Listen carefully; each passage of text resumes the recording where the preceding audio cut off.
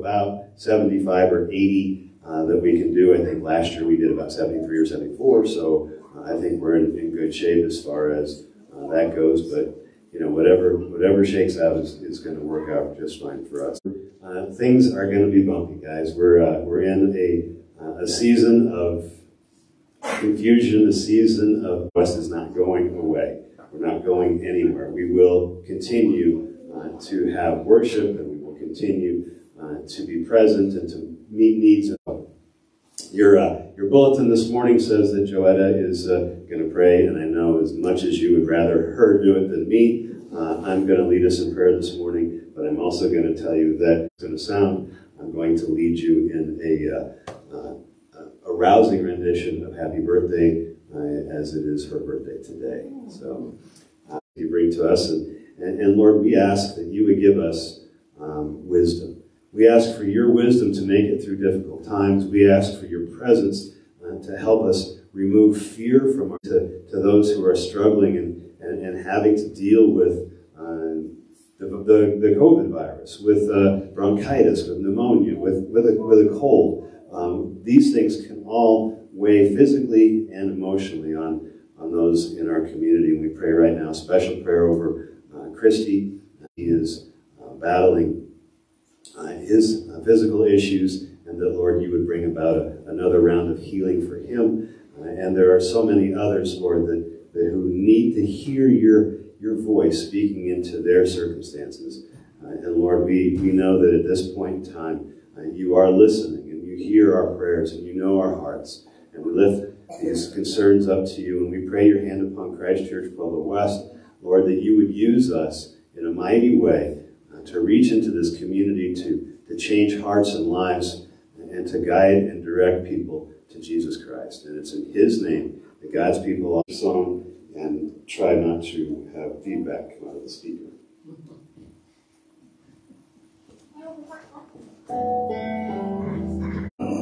Oh, my soul, worship His holy name. Sing like never before. Oh, my soul, I'll worship Your holy name.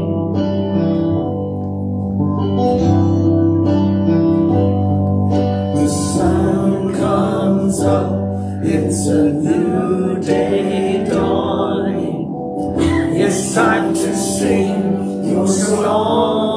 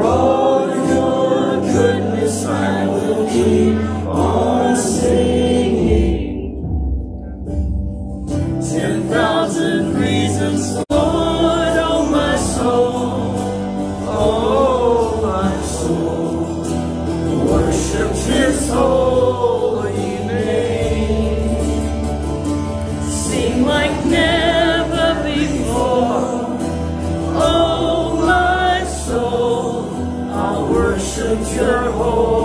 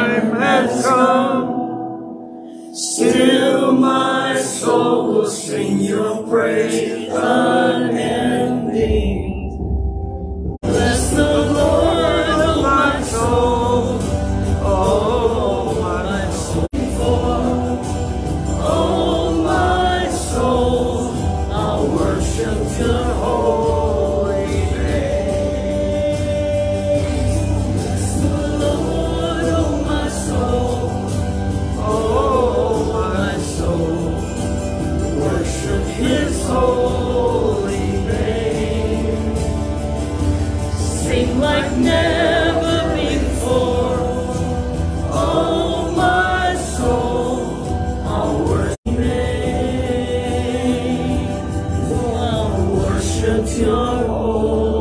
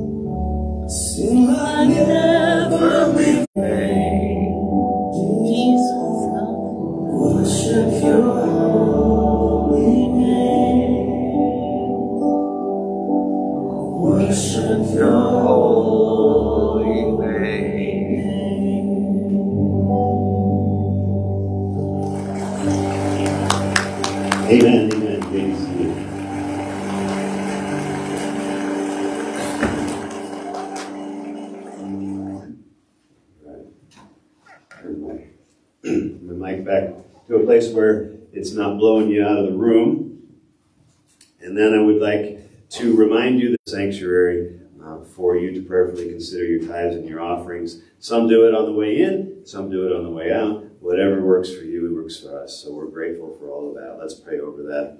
Lord, we are so grateful for all of the things that you bless us with, for it all comes from you, no matter what it is. Uh, the food that we eat, the clothes that we wear, the homes that we live in, uh, our entire uh, resource filled life is something that is provided for us by you. And Lord, we ask that you would uh, humbly receive, that we would we look forward to being a part of the big plan. We look forward to being a part of your, your, your love for others. In Jesus' name we pray. Amen. All right, so it is this time that if you are wanting to come hang out up here with me, and trust me, we're going to do something kind of cool and fun. And I'm looking at the Velasquez kids because you're basically the only ones here. Uh, so if you guys want to come up and, and hang out, I got some stuff over here. We're talking about hammer and nails today. So um, there's going to be some, uh, some hammering, some nails, that sort of a thing. Yeah, does that look good on you? Go ahead and give it a shot. Nice. Okay, get over there. Over there. Now these, you guys, you can put one of those on too. Okay, we're all about safety at Christ Church. Okay, so put on the, the there you go. Let's see how those look on you. Oh, perfect. Right, yours. Okay, these have old people glasses. Okay, so what happens is I put these on, and now I can see. Yeah. They, who knew that they make bifocal? What we got here. So, raise your hand if you know what you're looking at. What is that? Hang on, you know what? I got it. I'll be right back.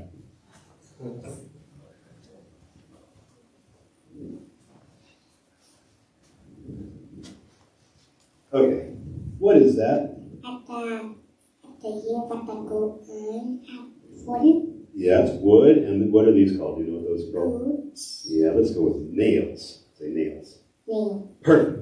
So those are nails. This is wood. And is um, is there something that happened here already? Were these nails? Did that? Did, did this tree grow up with those nails in it? no No, no, probably not. Huh? So something had to put those nails there, right? Yeah. Yeah. Yeah. yes Thank you. Standing right in front of you guys, okay, right here. All right, so here's the deal. What we got,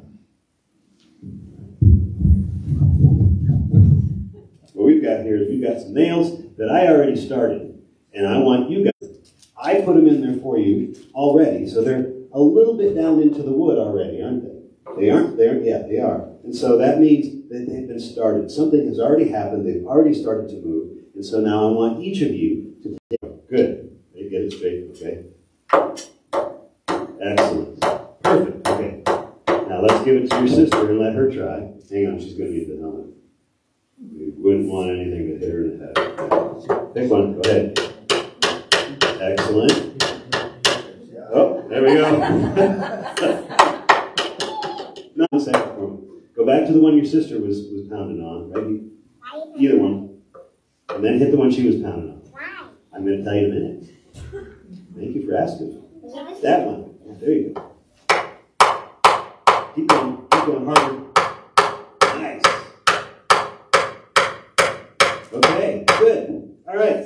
Now, let me have you take this one more time. Same one. Right there middle. Terrific. All right, you can stop. All right, so here's the deal.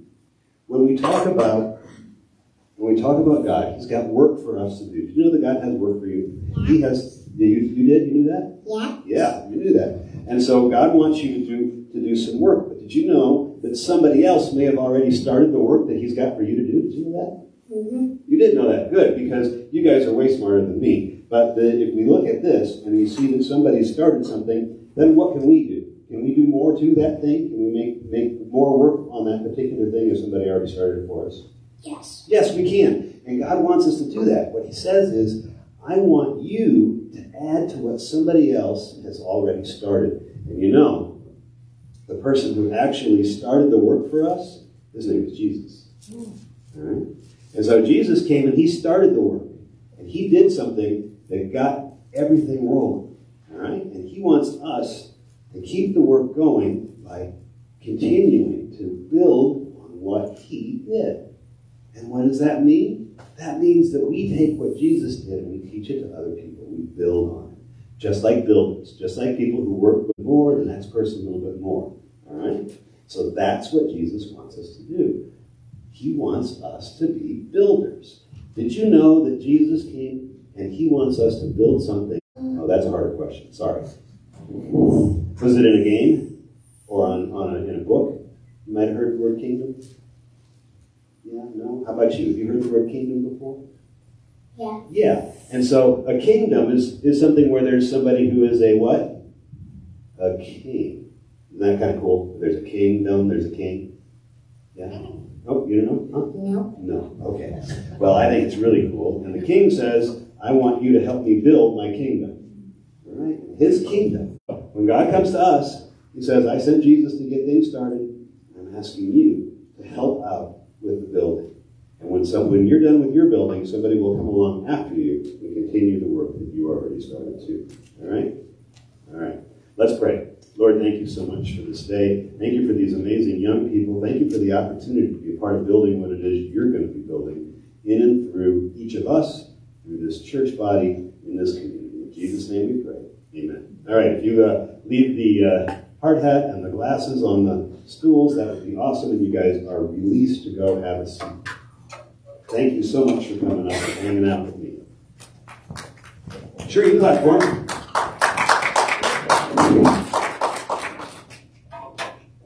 Do such a great job.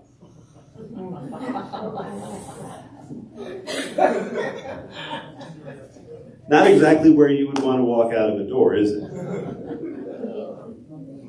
Some of those photos that we're looking at had me thinking. Now look at this one. This one is interesting. I, I'm, I'm picturing the, the parks the parks employee who said, uh, "Yeah, really? I'm going to teach you. I'll show you. I'm going to put the gate where I want it, not where you put the concrete." Okay. And then this one. That would be quite the staircase to get up and down, don't you think? And then finally, yeah, that one doesn't even, you know. The least did on purpose. You can't you can't make a mistake like that that isn't on purpose. That's such such a, a, crazy re, re, re, redo of something that you just can't. Some schools, uh, and they told us to put it here. Fine, this is where we're putting it. Instead of explaining it's not going to work, we need to refigure. They just went and did. All right. That's like the guy who who was the uh, the. Well, good morning. And if you are new to Christ Church Pueblo West, either in person or online, this is a terrific time to be here. And if you're not, it's still a terrific time to be here because this morning we're going to talk about what it is that's going on here at Christ Church Pueblo West and why, as a church body, the body of Jesus Christ, we are here in Pueblo West, right here at 1099 South McCulloch Boulevard West. And honestly, this is one of the favorite things that I like to talk about when I get a chance uh, to uh, come before you. And just exactly what is that? Well, you see, we're in the business of building. We are in the process of a building project. We right here at Christ Church Pueblo West are builders. Oh, it may not be what you're thinking. We are kingdom builders. Well, how do we do that? Well, we build the kingdom by building relationships. By, by building relationships. And what is that? What do you mean by building relationships? Well, let me ask you this. Who is it that you listen to? Do you listen to people that you have never met? Or this is very, very true. It says that people don't care how much you know until they know how much you care. The Gospel of Matthew, we're told of a meeting between Jesus and an expert in the law, a lawyer. Matthew 22 starting in verse 34. Hearing that Jesus had silenced the Sadducees, the Pharisees got together. One of them, an expert in the law, the lawyer, sold him with all your mind. This is the first and greatest commandment, and the second is like it. Love your neighbor as yourself. All the law and prophets hang on these two selves. Well, then we're wanting to do things that show our neighbors how much we care. Love God and love our neighbors. You've seen that before. That's what we're called to do. So what does that look like? What's that look like around here? Well, you know, there are churches that are basically social clubs. Some of you may have been to one or two of them. And a church like that, if they focus more on themselves. You commonly hear uh, a reference to that where somebody will say, well, that church is us four and no more. And that's kind of the model. Churches like that are basically full of what we might call Pharisees today. They are only concerned about themselves. And you might look at it this way. They're turned in. And what I mean by that is if you picture the congregation all standing in a circle, they would all be facing in, looking across at each other with no idea what's going on outside the circle. And I can, no one is to seek his own good, but rather the good of the other person. And I believe that if a group of followers of Jesus come together, and they're, they're called then not to see their own good, but the good of others, well, if you have a group of people that are called to that same thing, wouldn't that group in and of itself then be predisposed to be paying attention to others? And if we consider this building, this church, a club, and we say we, meaning followers of Jesus, we would say that we are the only club that puts a priority on benefiting those members who are not yet here. Now, hear me. I do, I do believe with all my heart that we need as a body to study God's Word, to encourage each other, but we need to be doing that with a mind that that teaching and that encouragement guides us into the lives of others who have yet to hear the pastor and elder to do something scripturally. Paul writes in Ephesians chapter 4 the apostles, prophets, the evangelists, the shepherds, which are elders, the teachers, which you might call pastors, who are to equip the saints for the work of ministry, for building up the body of Christ. There it is, that word, build. You see, Wayne Payne and I are here to equip to help you build. I'm trying to teach and encourage you to take what you learn here, what you would learn in a Bible study, either online or in person, and go and make disciples. Go and make disciples. That's what Jesus commands us to do, to be a part of that message that Jesus gives us in the Gospel of Matthew. It's called the Great Commission. Amen. Now, in the Old Testament, there's a book that's named for a prophet, and this prophet's name is Haggai. It isn't a very long book. It's just two chapters long. And in those two chapters, the main topic is the temple. So, Haggai chapter 1, verse 2. This is what the Lord of heaven's army says. The people are saying the time has not yet come to rebuild the house of the Lord. Then the Lord sent this message through the prophet Haggai. Why are you living in luxurious houses while my house lies in ruins? This is what the Lord of Heaven's army says. Look at what's happening to you. You have planted much, but harvest little. You. This is what the Lord of Heaven's army says. Look at what's happening to you. Now go up into the hills, bring down timber, and rebuild my house. Then I will take pleasure in it and be honored, says the Lord. You hoped for rich harvests, but they were poor. All of you are busy building your own fine houses. It's because of you that the heavens withhold the dew and the earth produces no crops. I have called for a drought on your fields and hills, a drought to wither the, the grain and grapes and olive trees and all your other crops, a drought to starve you and your lives matters because while we may not necessarily need a work day here at Christ Church Pueblo West at the building, it's a matter of priorities. You see, the Israelites of Haggai's day were putting their material, God was telling them.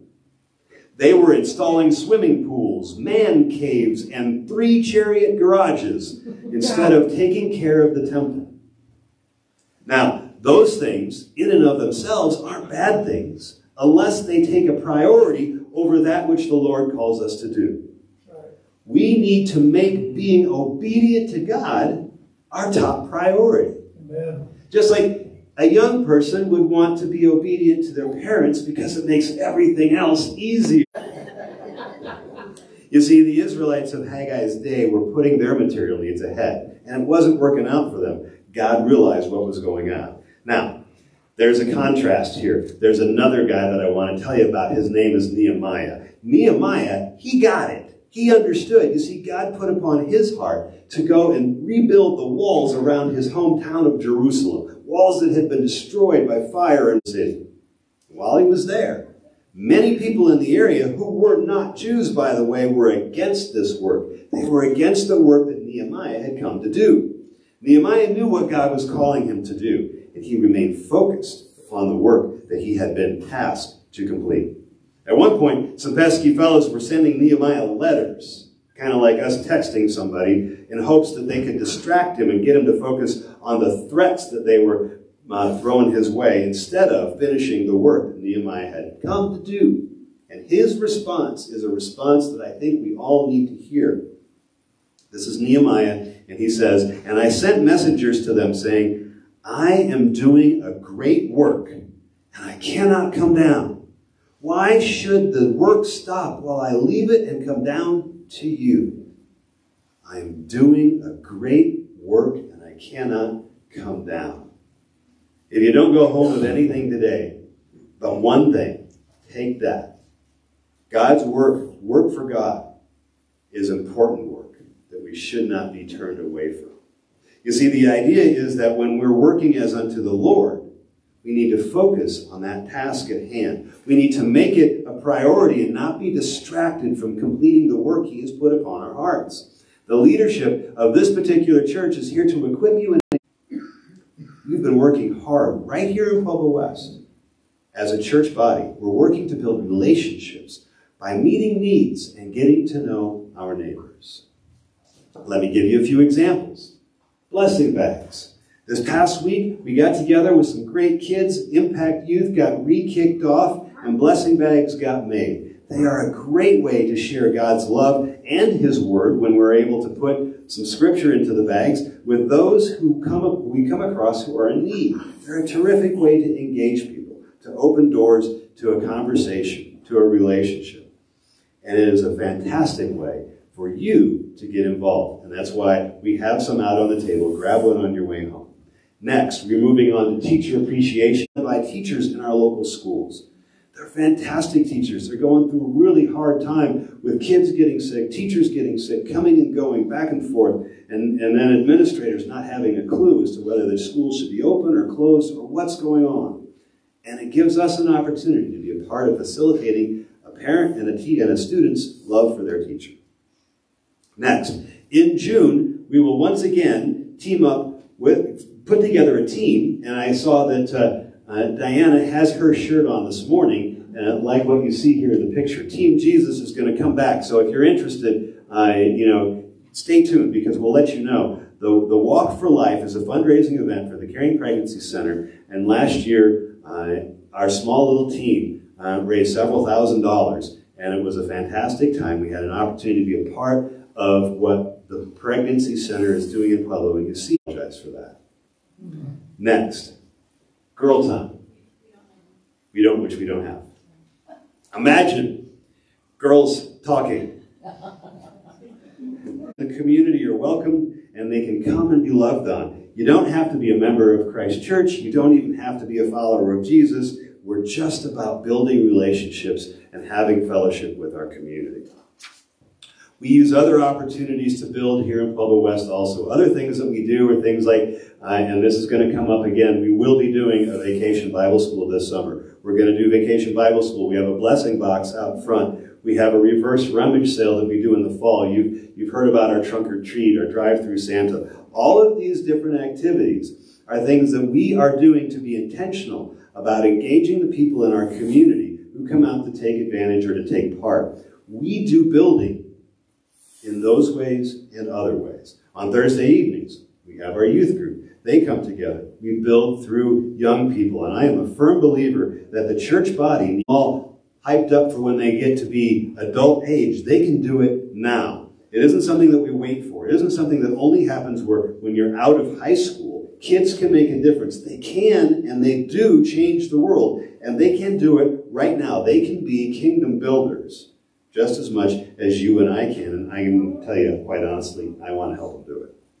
Matthew chapter 7, verses 24 through 27 says this Everyone then who hears these words of mine, Jesus speaking, does them, and he will be like a wise man who built his house on the rock. And the rain fell, and the floods came, and the winds blew, and they beat on that house, but it did not fall because it had been founded on the rock. And everyone who hears these words of mine and does not do them will be like a foolish man who built his house on the sand. The rain fell, and the floods came, and the winds blew, and beat against that house, and it fell. And a great and great was the fall. So you see, while kids can be kingdom builders, it is up to us, the generations who have come before these young people, to teach them where to build, to teach them how to build, to teach them to build on the rock and not on the sand. Because when we come alongside young builders and share the wisdom that our years of building have given us, they have a much better chance of succeeding, a much better chance of being a part of God's blueprint for the kingdom. Now, I truly believe that God puts things on our hearts for a reason. He gives us dreams, He gives us desires and passions that we can use for the kingdom. And that's every single one of us. That's you. God planted something on my heart years ago that I really had no idea what to do. And God was guiding me and directing me to where I am today. And He has put me in a place where not only can I more clearly see the vision He's given me, but now I have people around me who share in the same vision for reaching this community. For example, let me tell you a little bit about that soccer field out there, the Jerry Young field, who we want to be to Pueblo West. Mm-hmm. He's a guy who loves everybody. He loved people like no other. He is the guy who set the standard for somebody like me. I needed to have a Jerry Young in my life, and I was blessed to have some time with this Jerry Young. And so Jerry gave us that. How did that all work out? Well, the, the land that it's on when I came here wasn't didn't belong to the church. It was just the next piece of property over.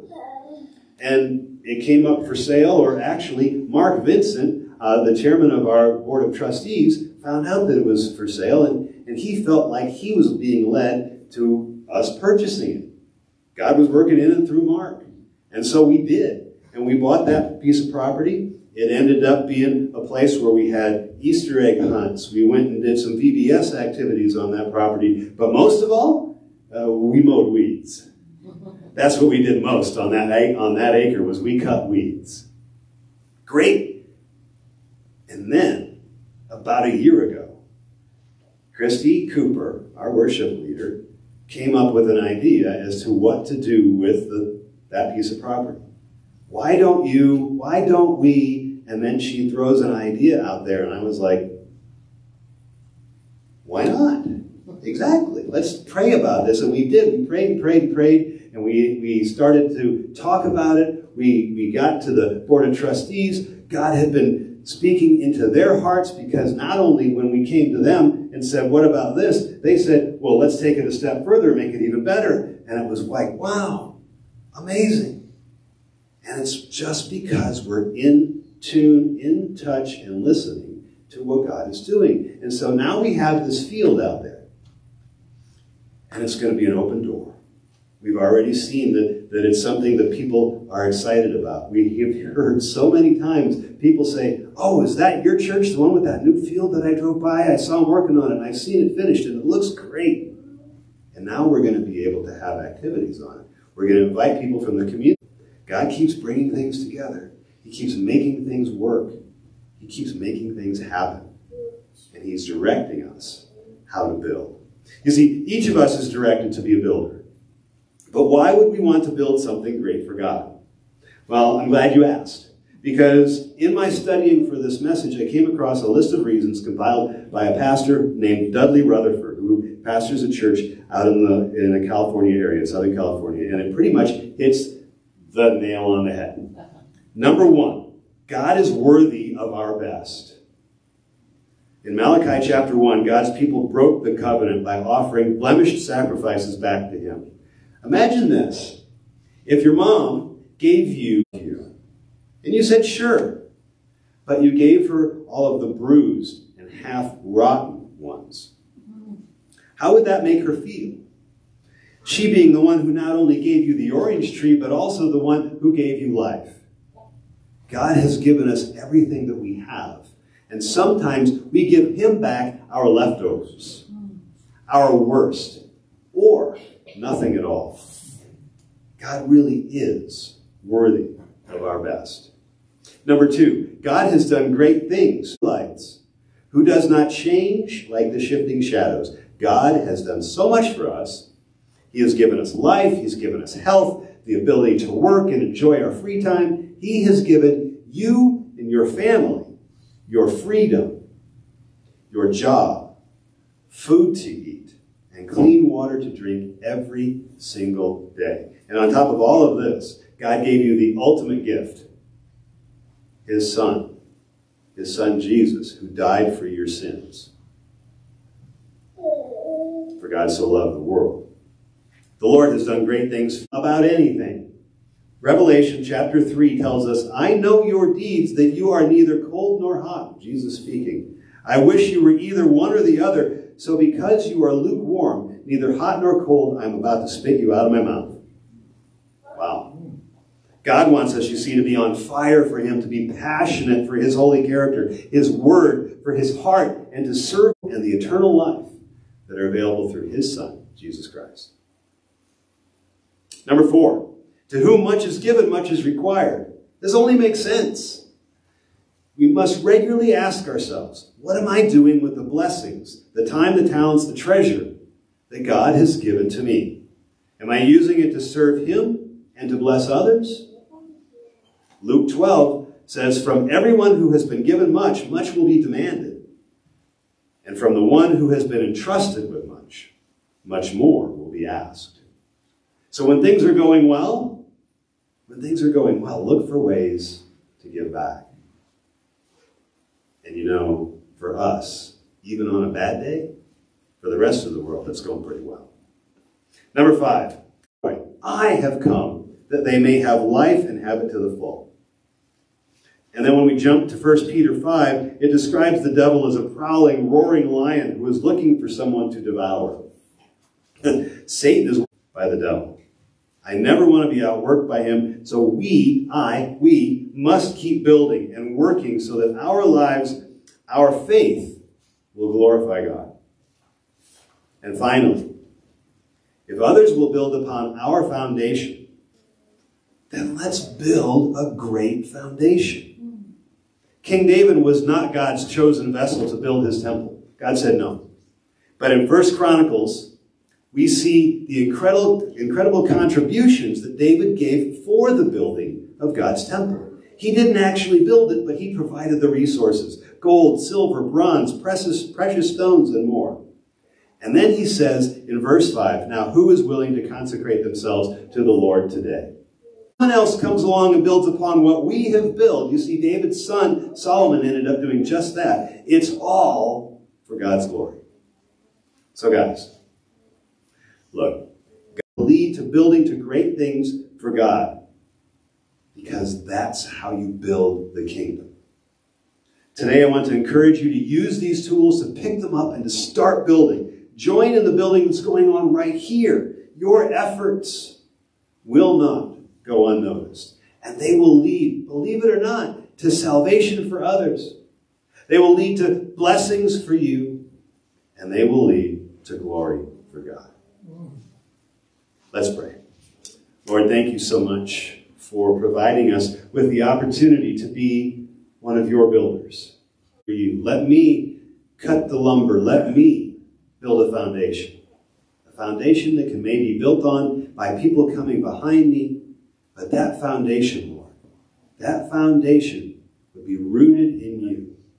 Please give us guidance and direction. Please pour your blessings out upon our young people as they that Jesus Christ has come and he's coming back. He has given us an opportunity to have eternal life and salvation and forgiveness of sins. When we turn away from those sins into you, Lord, when we turn away from our sins and repent of them and ask Jesus Christ into our hearts. Help us, Lord, to teach that to others, to build them up, encourage them, and see what comes as they too become builders. In Jesus' name we pray. Amen. All right, so at this point, if you have one of the communion cups, we're going to move into our communion real quick and in a connection with Jesus Christ, who says, In remembrance of me, I ask that you would remember me when you do this. And so this morning, we're going to do just that. In 1 Corinthians chapter 3, excuse me, it's 1 Corinthians chapter 3. The Apostle Paul is writing, and he said, The foundation, and someone else, someone else is building upon. Let each one take care how he builds upon the foundation, how he builds upon it. For no one, verse 11, for no one can lay a foundation other than that which is laid, which is Jesus Christ. Mm. See, Jesus Christ is that foundation, and nobody can put down any other foundation for the church. Put another way, the church will not stand on any foundation besides Jesus Christ. The gospel, the good news from God about salvation from sin, it starts and ends with faith in Jesus. Nothing can be added to it or taken from it. The message stops being the gospel if that happens. Verse 12. Now, if anyone builds on the foundation with gold, silver, precious stones, wood, hay, straw, each one's work will be become manifest, for the day will disclose it, because it will be revealed all has left the scene. New builders have come in to continue the construction. These builders are the teachers and the leaders of the church in Corinth. Paul begins an if then statement in this verse, and he says, Continuing the building metaphor, he describes various materials. These builders, those who lead the Corinthians to grow in Christ, might use these particular materials to continue the building project. But the question is, will they use quality building materials, such as gold, silver, and precious stones? Will they build using sturdy, uh, valuable, resilient stock, which would result in a robust and strong structure? Or will they use wood, hay, and straw, cheap, easily acquired and inferior materials, in order to quickly raise walls that cannot stand the test of time? What makes for good or poor building materials? In this case, teaching about Christ that is true and helpful would be quality material for growing the church. Teaching that distorts the message of Christ or waters down the truth, that's the cheap stuff. This done has been built on the foundation and it survives. That which is built with the good materials, well, he will receive a reward. Verse 15, if anybody's work is burned up, he will suffer loss. Though he himself will be saved, but only as through fire. What we do makes a difference.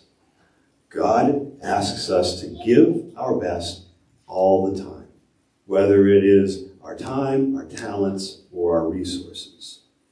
Not the leftovers, not the bruised and rotted oranges, but the best that we have. And when we do that, we can't help but succeed and receive rewards and blessings. Foundation of our church family, and we build upon Him each and every time we come together, each and every time we share the good news. We continue to build upon that foundation.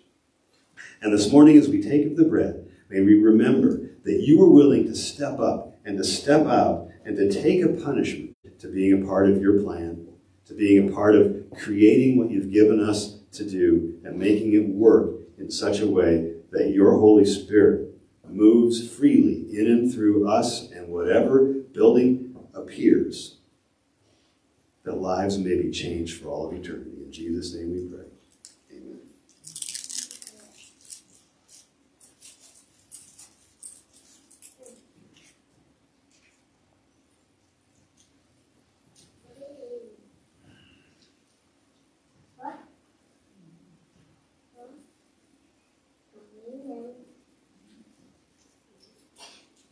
And so when we consider the cup, and we consider what Jesus was willing to sacrifice for us, shouldn't it encourage us? Shouldn't it motivate us to want to be able to give on the same sort of a level, on the same, or we tend to kind of quench that spirit and, and we tend to go and do what the flesh would have us to do. We tend to, to live the life that the world around us expects from us instead of being completely and totally faithful and connected to who Christ is and what he did for us. So as we take of the cup this morning, may we remember the fact that Jesus was willing to give it all.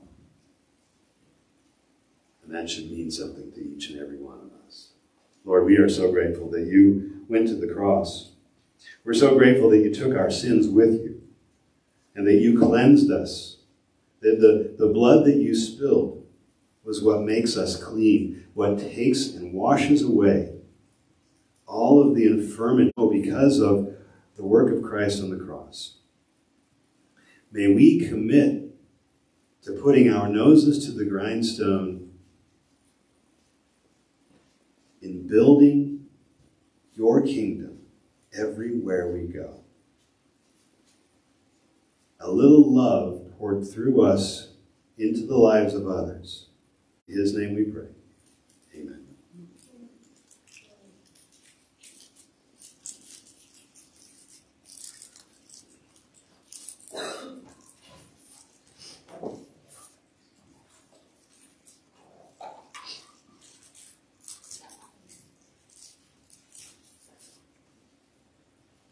So if you'll bear with us, I think we're going to close with a one more worship song. 94% of people believe company culture And I believe that's about what we're doing here.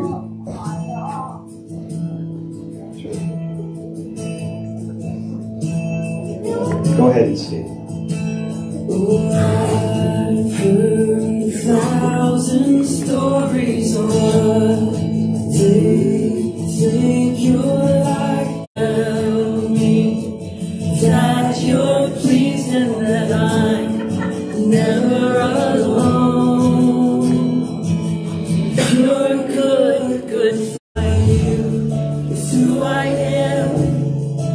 who I am.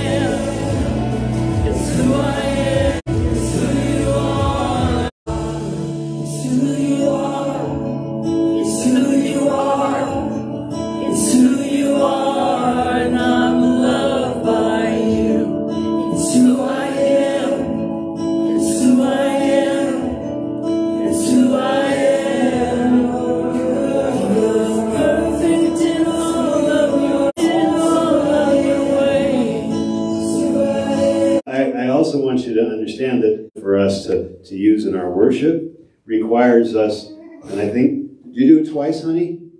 She had to restart the computer, things in order the way we're used to doing them. And so I'm, I'm very grateful for, for all that she does. I want you to know that, that I, I, I'm just the guy who talks. She's the one who does everything. Uh, and so I, I'm, This week. Next week. oh, it's coming on the 21st. Oh, okay. So today, it'll be between, it'll be, well, it'll be, we're gonna, we're gonna do a preeminent strike since the next time we come, happy birthday. Happy birthday to you. Happy birthday to you. Happy birthday, dear Joanne. Happy birthday to you. All right, thank you so much, everybody, for being here this morning and being here. And if you still have a hole in your heart, the size and shape of the Holy Spirit, let's talk about that because it's a great opportunity to invite Him to move in to be a part of you. Do like the Green Bay Packers are doing today. Rest.